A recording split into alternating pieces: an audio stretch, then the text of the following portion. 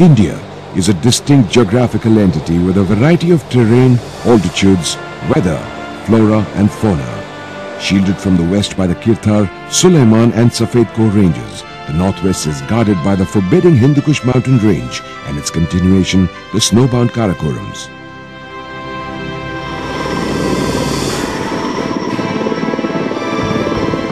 Together, they cap the landmass whose entire northern boundary is formed by the vast mountain chain of the mighty Himalayas that effectively isolate the rest of the country from the Asian landmass. The expanse of the Indian Ocean laps the entire southern coastline. The Lakshadweep Islands in the Arabian Sea and the Andamans and Nicobar Island chain in the Bay of Bengal serving as the country's seaward outposts.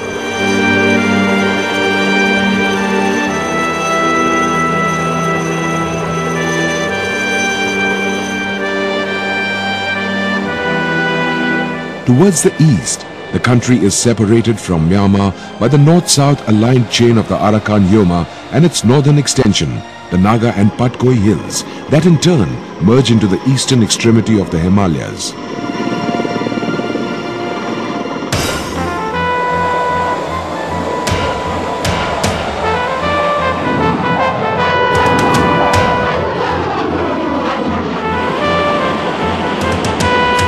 India's history has been profoundly influenced by its environment and topography. Its geography has dictated political boundaries, social responses and ethnic expansion. The 6,000 kilometer long land border of the subcontinent takes us from the snow-covered through the forest-clad to the arid and bare.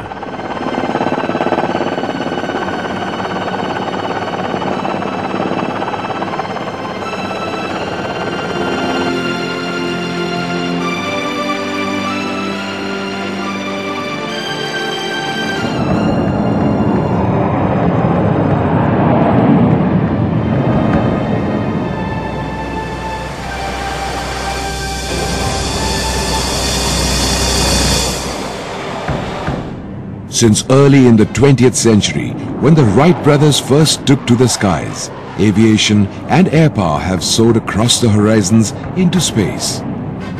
The last century in particular has witnessed the strategic emergence of air power as an extension of diplomacy or as an instrument of war. The manifestation of its potency and essence in the past decade was unprecedented. In the Persian Gulf War, the Bosnian air campaign, Kosovo, Kargil or even Afghanistan.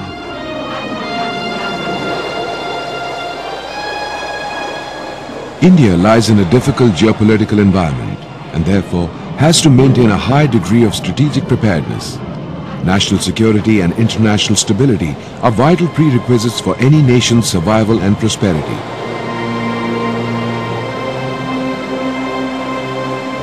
Assuring security and stability requires diplomacy, resources, vigilance, reach and power. Vigilance to anticipate and deter threats, strategic reach to ensure credibility, and overwhelming power to prevail in conflicts and win India's future wars. Papa Yankee finals 3 green flaps.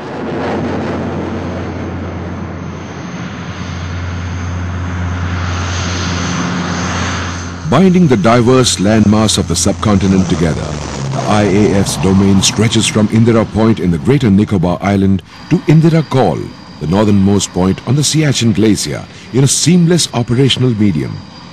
Keeping critical lifelines open in some of the remotest corners of the world, the transport fleet of the Indian Air Force flies around the clock, operating a variety of aircraft optimized for extreme environments.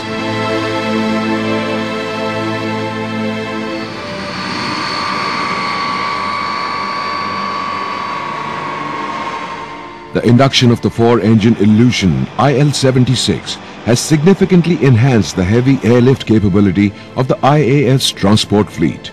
When required, they have flown in main battle tanks, infantry combat vehicles, heavy artillery and other bulk equipment.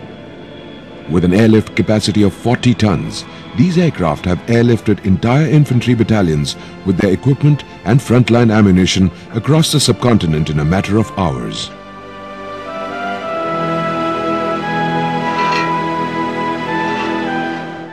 The twin-engined AN-32s have been the standard medium tactical transport aircraft since the mid-80s. Capable of carrying a 5.5-ton payload of 40 paratroopers at a time, the AN-32 is the main workhorse of the IAF. For an army deployed across the length of the Himalayas and often beyond, the IAF is always on call to meet their air logistics requirements while the rest of the force trains, exercises and prepares for the full spectrum of operations.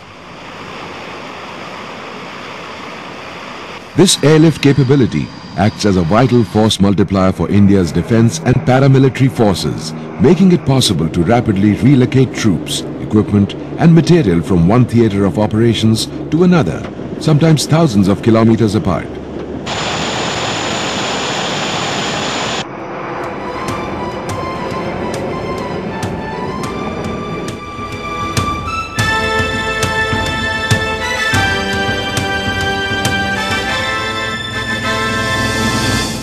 The Indian Air Force also operates the world's largest tactical transport helicopter, the Mi-26. In an ambulance role, it can carry more than 60 stretcher cases at a time or lift up to 20 tons of weight.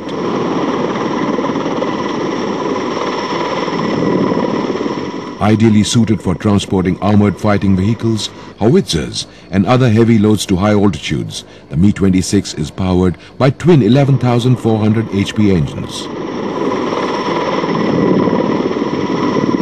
Besides transporting a large number of fully equipped troops into inaccessible areas, the ability to lift bulldozers and other underslung equipment adds a vital dimension to the IAF's overall capabilities.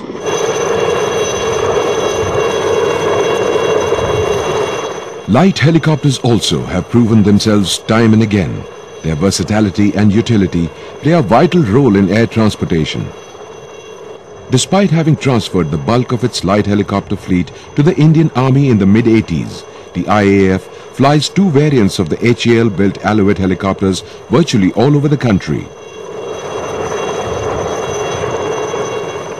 Used in forward air control, communications, training and a number of general duty roles, they are fitted with a power plant that results in increased performance for less fuel burn that proves especially efficient for mountain operations. The workhorses, especially for the far-flung outposts in the northeast, are the ubiquitous Mi-8 and the Mi-17 medium helicopters. It sometimes takes days and weeks to reach these locations by surface, as is the case with the BSF post at Parva. Using helicopters, however, casualties can be evacuated into lower Assam within a couple of hours.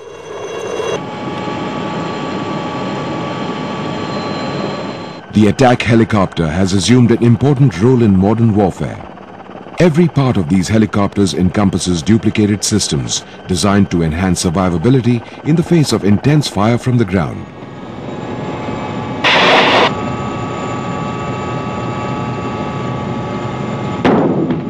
Powered by paired engines in the 2000 HP class, the Mi-25 and its upgraded variant, the Mi-35, are extremely effective in support of ground troops in certain conditions.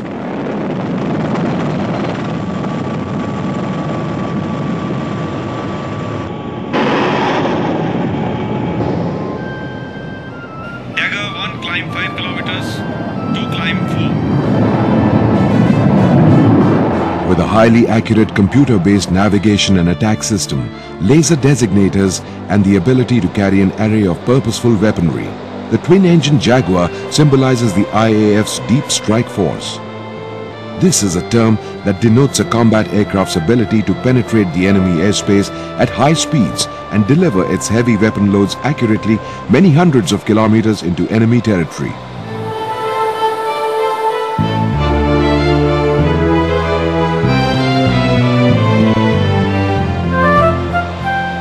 These aircraft have the ability to strike at the enemy's strategic targets to carry out interdiction of his lines of communication, to destroy his armed forces on the ground or at sea, as well as attack his airfields and other vital installations on the ground.